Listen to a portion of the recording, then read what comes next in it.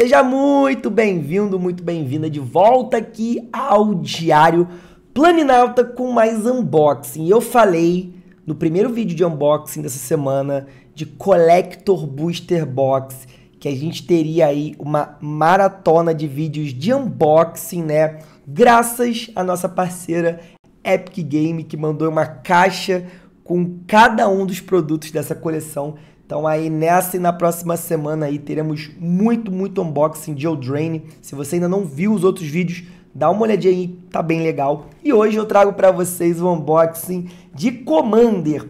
Já vi algumas diferenças aqui, eu vou, vou analisar, obviamente, uh, o produto, fazer um review do produto, né? Vou testar esses decks de Commander em live, tô abrindo eles aqui agora para poder testar em live. Então, se você quer ver esses decks jogando sem modificação, se inscreve no canal, ativa o sininho para receber a notificação de quando esses, é, esses decks, né? Esse, esse jogo, esses games vão rolar. Talvez já tenha até rolado, então dá uma pesquisada no canal depois, né? Se você quiser comprar, obviamente, algum desses decks fechados, sugiro aí que vá lá na Epic Game, nossa parceira. Se quiser, ah, Thiago, não quero comprar o deck fechado, tenho algumas cartas já, mas gostei de algumas outras cartas desse deck, quero comprar para outros decks que vieram, né, que eu tenho já. Então, você pode também ir lá na Epic Game, só que eu tenho uma boa para você. Utilizando o código Planinauta para cartas avulsas no site da Epic Game e da Epic Game Santos, vocês ganham 5% aí de desconto nas compras, beleza? Então vamos falar sobre esses decks. Eu vou deixar aqui o das fadas por último, porque é o que eu mais gostei, é o que eu fiz um review legal. Tem review aí dos dois decks no canal, se vocês estão na dúvida de comprar. Já tenho aqui uma, a primeira novidade que o deck ele tá é, a caixa tá bem diferente, né? Tá um pouquinho menor, parece estar tá um pouquinho mais enxuta, tá bem bonita a caixa. Vamos ver o quanto que ela mudou por dentro, né? A Wizards vem mudando constantemente, né, os materiais de Magic, principalmente Commander, não sei se elas ficam, se ela fica testando ou o que que é que a Wizards está fazendo, ó. Aqui tá vendo? Papelãozinho, vem o deck aqui dentro, que ele não quer sair agora sim, só porque eu falei ele saiu. Vem o deckzinho aqui fechado e esse, né, folhetinho aqui dizendo uh, um pouco mais, falando um pouco mais sobre o deck, né? Mostrando uma arte legal, falando como, como jogar, regras do Commander, né? E um pouco da história da Elver of the Wild Court. Legal, né? Bacana, sempre vem nos Commanders. Tem um negocinho aqui que é, olha que coisa esquisita, né? Um papel preto, né? Tipo um envelope assim de carta misteriosa que vem a deckbox, né? Deckboxes aí de... Nossa, e vem um negócio aqui. Olha, vou falar para vocês, hein? A apresentação desse material da Wizard tá ficando cada vez pior, cara. Cada vez pior, sabe? A gente é apaixonado por Commander. Pô, eu sou é, um grande entusiasta. Olha aqui, ó. Dobrado, tá vendo? Grande entusiasta de, de pré-com, de jogar pré-montado. E isso aqui é o que a Wizards oferece pra gente, num preço em um produto, né, caríssimo. Ah, Thiago, mas isso aí não tá tão caro, né? 300 e pouco, talvez no máximo aí 400 reais, comparado com os outros que saíram esse ano, que saíram, teve deck de Commander que saiu até 800, 900 reais, né? Nem tá tão caro, né? Menos da metade do preço.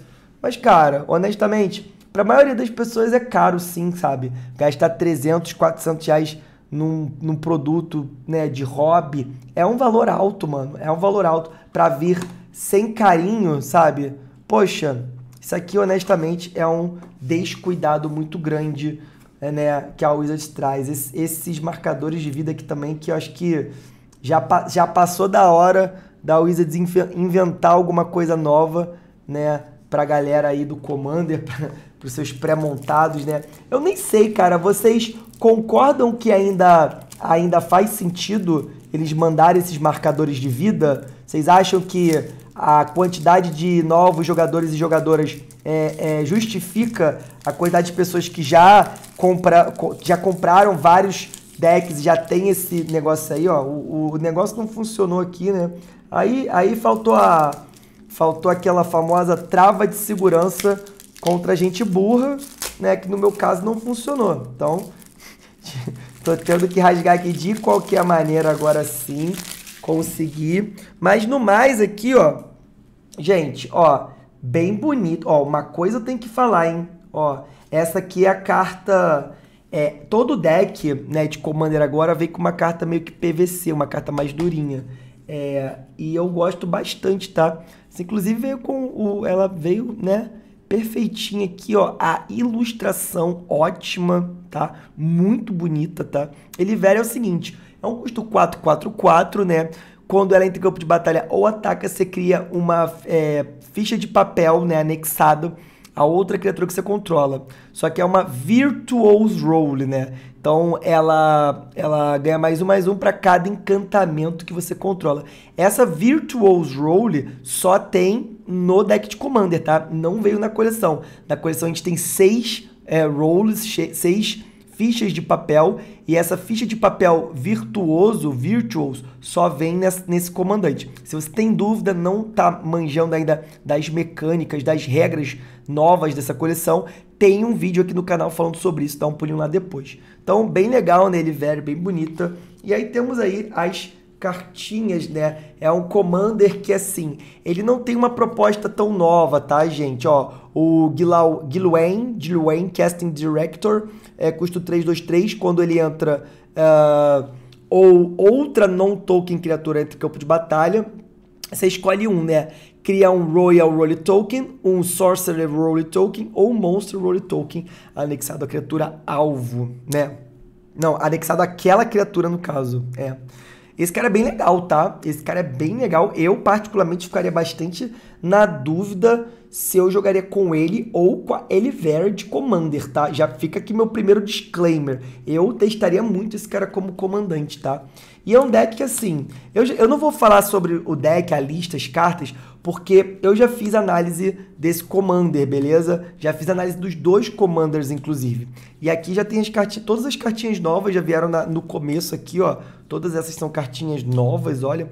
Eu não fiquei muito empolgado com as cartas novas desse deck verde. Agora começam a, os reprints. Não fiquei empolgado com as cartas novas, tá? Desse deck. Mas os reprints desse deck eu gostei bastante. O problema para mim é que ele repete um arquétipo, que é esse arquétipo de encantamento que vem rolando aí ao longo do desse último ano, mais ou menos, né? Esse ano, ano passado. Essa ilustração aqui é coisa linda, tá? Coisa linda. Re, re, reimpressão de uma carta que estava carinha, veio, se eu não me engano, lá no comando da Galeia, e reimpressão com uma arte nova. Maravilhoso. Então, assim, é um deck que eu indico para quem uh, quer começar aí a jogar um Commander de repente com arquétipo de encantamentos e ainda não tem nenhum deck de encantamentos. Esse deck aqui vem muita carta boa, vem carta, bastante carta ruim, vem assim, ruim que eu digo assim, ah, carta desnecessária pro deck, vem bastante, tá? Inclusive, vou fazer é, um guia de upgrades para esse deck muito em breve vai no canal, então já se inscreve aí para não perder. Olha que reprint bom, veio no deck da da Nicteia de Commander Masters e veio de novo nesse deck. Isso eu não acho ruim. Reprint de carta boa e cara, para mim pode ter em toda a coleção de Commander.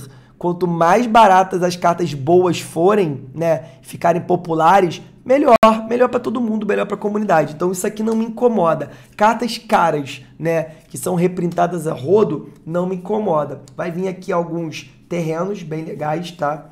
A base de terreno tá bem legal para um deck desse preço, desse valor. Lembrando que os decks de coleção assim, eles normalmente têm um valor é, bem abaixo, né? Quer dizer, não bem abaixo, mas não é um valor tão alto com, comparando com os decks de Commander é, é, especiais do ano, né? Como foi, por exemplo, o Senhor dos Anéis e como foi Commander Masters, que infelizmente, né? Já tem bastante vídeo no canal falando sobre isso, falando mal sobre isso. então a gente tem um deck aqui que, na minha opinião, é um deck bem legal, bem sinérgico, divertido de jogar. Eu tô doido para testar esse deck. Como eu falei, vou testar é, em breve e vou trazer para vocês a gameplay do canal. Mas é um deck que tem um espaço enorme. O Topi Sprawl, outra, outra reimpressão importantíssima. Mas é um deck que tem um espaço enorme, enorme para melhoria. Isso é bacana. Assim, eu gosto de decks desse estilo que vem, são bem montados, mas que tem um bom espaço para melhoria. Aqui nós temos aí vários terrenos de novo. Aí aqui a gente tem o meu, pô, meu xodozinho, né? Sir Armont, né, da Magali Villeneuve, essa carta. Ainda estou em busca dela foil para minha coleção, não consegui abrir nos unboxings ainda. E e aí vem um monte de terreno. E cara, se, sendo um preço honesto, um preço justo, né, pessoal? Ah, beleza, temos aí um deck, aí vem a base de mana, né, que sempre dá para melhorar bastante, muito terreno básico, então sempre dá pra dar uma melhorada. Ah, Thiago, é, pô, esse deck precisa melhorar, tem muito, quer dizer, quer dizer, esse deck é bom, mas tem muito espaço para melhorar, né, Thiago? É, mas aí, pô, se é um deck que custa 200 e poucos, 300 reais, ok, né? Você pagar um, um, um, um preço assim é, pra, pra, de entrada no, no, no Commander, no formato, ou mesmo você já joga, mas quer um Commander novo, ou quer jogar pré-montado, né? Aqui estão as fichas, tá? Ó, faz bastante pirata, bastante fada esse deck, cópias, e do outro lado aqui, ó, Saprófitas, Humanos, Pegasus, bem legal esse deck, tá? É, então, assim, uh, é legal, é legal se o valor for baixo. Se o valor for baixo, é, é bem legal uh, quando o deck ele tem espaço para melhoria, mas você não gastou muito dinheiro nele. Uh, isso aqui é um Collector Booster Sample, tá? É só um booster que vem duas cartas e essas cartas podem ser muito caras e maravilhosas ou podem não valer nada, como qualquer booster de Magic, tá? Mas é um exemplo do Collector Booster que é normalmente os boosters que vêm as cartas mais raras e mais, enfim, diferenciadas. Eu já fiz unboxing de uma Collector Booster Box de Wilds of Eldraine, de Terras Selvagens Eldraine no canal e foi uma unboxing insana, tá? A box tá sensacional. Se você não viu esse vídeo ainda, recomendo dar um pulinho aí depois na lista de vídeos aí e conferir.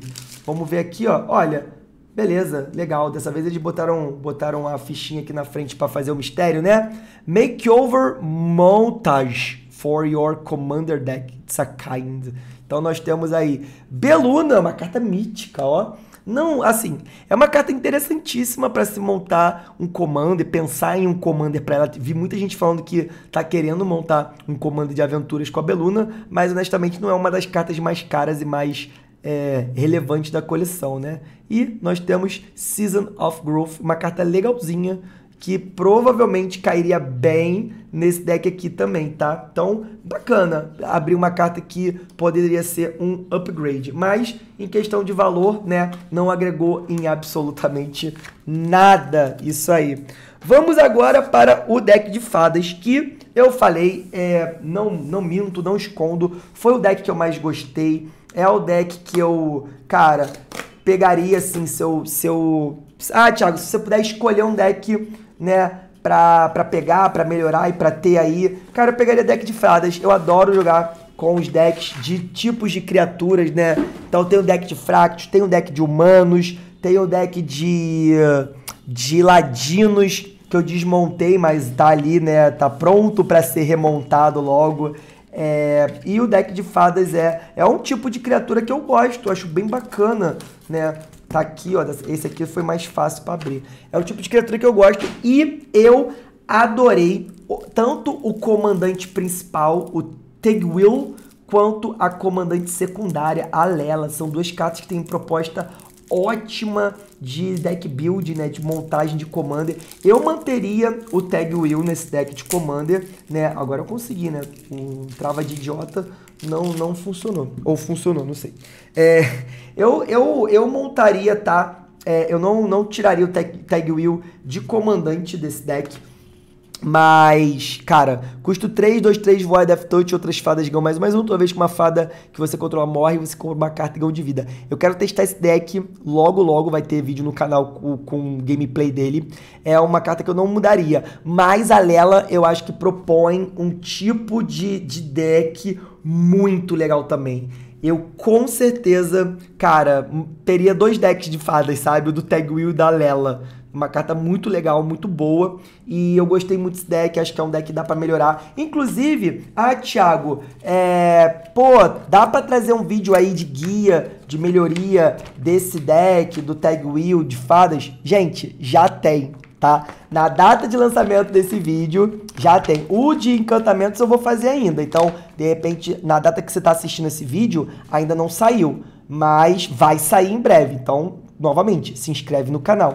Agora, o das fadas já tem um guia aí completinho, tá? De upgrades. Inclusive, todos os guias de upgrades que eu tô fazendo e outros guias também, por exemplo, o guia de pro, pro pré-release, né?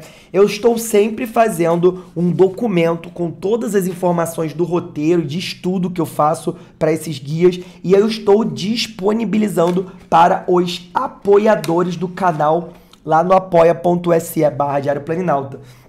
Então, se você curte meu trabalho e ainda quer ter acesso né, a esses guias e a outras recompensas bacanas, considere aí se tornar um apoiador ou uma apoiadora. Hoje eu estou vivendo apenas do meu trabalho aqui no Diário Planinalta, do YouTube, das lives, do Apoia-se e dos nossos parceiros, né? Então, se você quiser me ajudar a continuar vivendo aí desse sonho, né, de produção de conteúdo, principalmente para o Magic, para card games, que é um nicho bem pequenininho, né, é, no Apoia-se você me ajuda muito e ainda recebe diversas recompensas, galera. Jabá feito, vamos passar aqui, ó. Aqui na frente tem as cartinhas novas das fadas, cartas essas que eu adorei, todas elas. Algumas eu tiraria do deck, mas por motivos pessoais, não por achar que são cartas ruins, tá?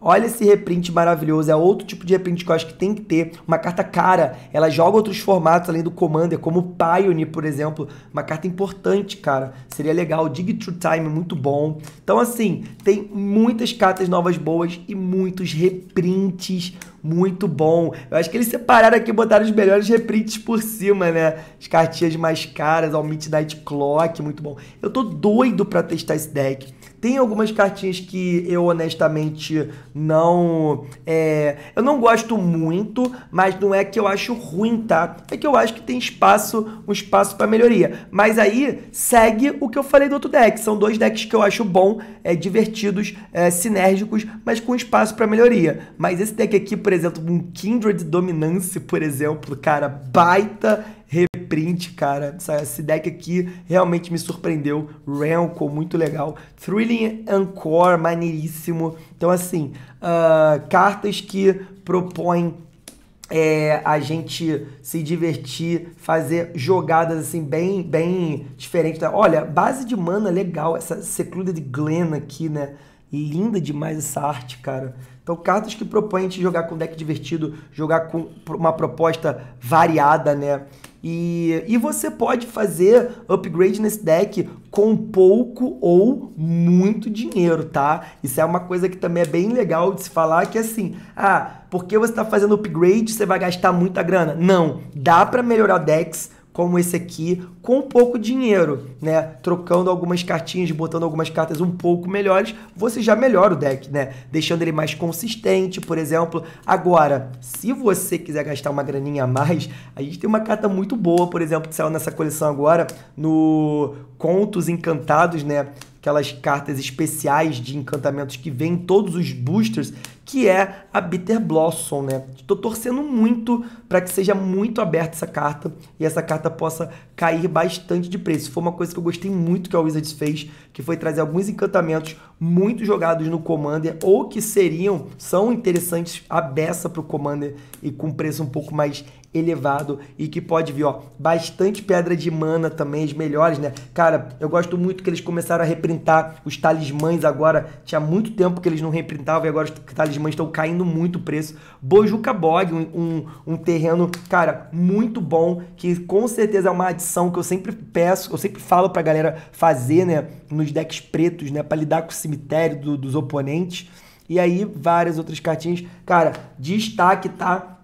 para ilustração linda, linda dos terrenos, tá? Esses terrenos estão com uma, umas ilustrações assim, cara, surreais, tá?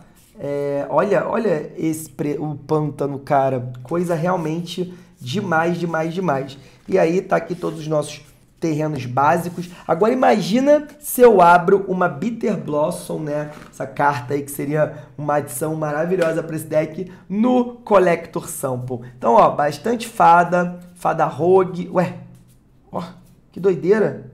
Eles têm dois tokens diferentes de fada rogue. Rapaz, isso aqui eu não tinha, não tinha visto ainda não, hein? Doideira isso, hein? Cópia, essa fada é uma fada normal, né? e piratas também. Esses piratas aqui que são, são de uma carta que eu achei meio engraçada. É uma das que eu provavelmente substituiria no deck, tá? E vamos lá pro último, último passo aqui, última etapa do nosso vídeo, abrir esse Collector Booster Box Sample. O primeiro foi muito ruim, tá? Muito ruim.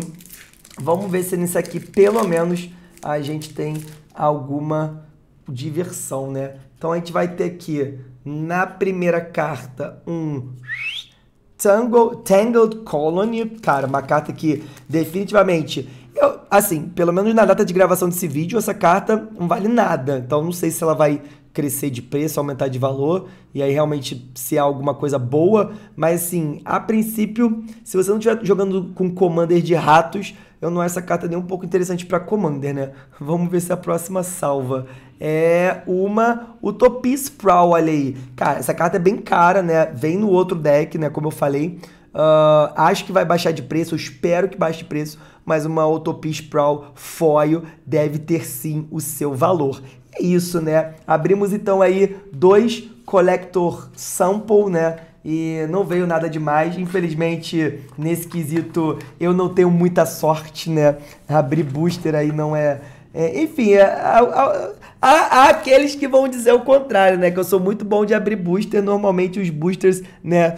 Aí da, da Epic são maravilhosos, né? Agora, nesses boosterzinhos assim de sample, ou os boosters que eu abro pra mim, pra minha coleção, não dá muito certo não. Gente, esses então são os dois decks de Commander. Em breve estarei jogando com eles aqui no canal, tá? Vou jogar lá na, na twitch.tv barra Diário Planinalta ao vivo com os apoiadores do canal e depois vou trazer os vídeos aqui pro YouTube. Então, deixa o seu likezão pra me ajudar muito, ajuda muito, muito, muito seu like. Deixa um comentário aí no vídeo sobre o que vocês acharam desses produtos e se inscreve no canal pra gente poder bater esses 20 mil inscritos aí até o final do ano, beleza? Tamo junto, muito, muito obrigado por assistir mais um vídeo aqui. Um grande beijo no seu coração e até a próxima. Valeu!